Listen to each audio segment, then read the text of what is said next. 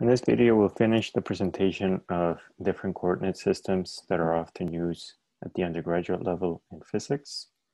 The final one is the spherical coordinate system, which is typically used for problems that have some kind of spherical symmetry or take place on some kind of spherical system. Once again, we, we're going to define a small spherical volume element, which when we integrate, we're going to essentially sum up over several small of these volume elements. So the variables in spherical coordinates are typically denoted as r, which unfortunately is oftentimes the same variable used in cylindrical and polar coordinates, but instead of being the radius and the xy plane, it's now the distance from the origin to a point in the XYZ uh, system. So be careful with that. The polar angle is now replaced by phi instead of theta. And then we have an angle that's going, that starts at in the positive z axis at zero, and then can go all the way down to the negative z axis. And this one is typically denoted as theta. You should know that usually in math textbooks, these two are inverted. The polar angle remains theta, and what's called the azimuthal angle is called phi. We'll try to stick to this convention throughout the course. So we can find the transformations between Cartesian and spherical coordinates as follows. If you have a point, for example, over here, then uh, with coordinates r, phi, and theta, then to find the corresponding x coordinate, you need to first project this point down to the xy plane, which is done with r sine theta. And then you want the horizontal component of that point, which you get by multiplying that by cos theta. Similarly, to get y, you project the point down to the xy plane with r sine theta, and then you want the vertical component You multiply by, by sine theta. And finally, to find the corresponding x coordinate, you simply project the point onto the z axis. And that's done by taking r cos theta. Sorry, this one should be phi, and this one's phi. All right. So if the polar angle subtending this element is d phi, and the one, the azimuthal angle subtending this element is d theta, then our volume element is going to be r d theta, which will give you the length of this side. The length of this side is going to be dr, so it's the difference between the radius over here and the radius over here.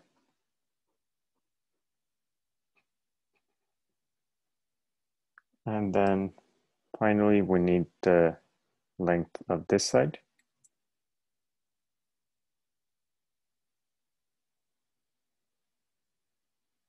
Or Sorry, we already got that side of this side over here, which you first need to project again by r sine theta. That gives you the length of this side, uh, sorry, rather of this side.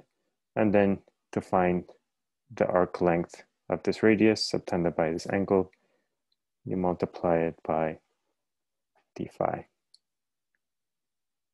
Just to rewrite it, our volume element in spherical coordinates is r squared sine theta dr d phi d theta. And as an example, we can consider calculating the volume of a sphere. In Cartesian coordinates, we're again only going to set up the integral and not actually solve it.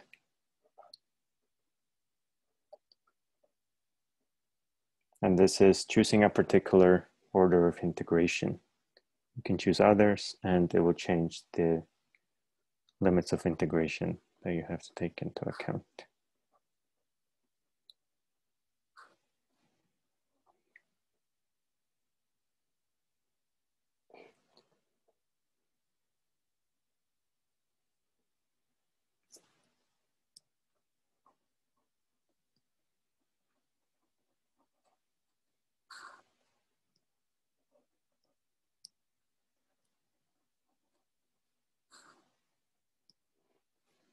So over here, we first integrate with respect to Z.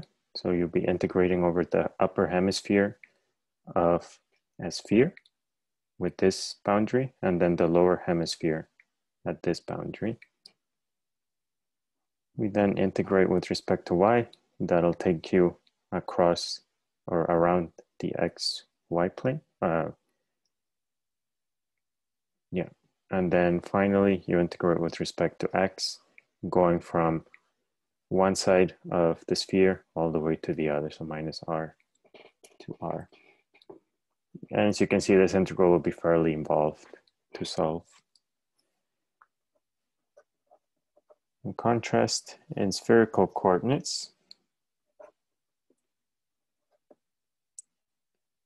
we can once again evaluate each integral independently.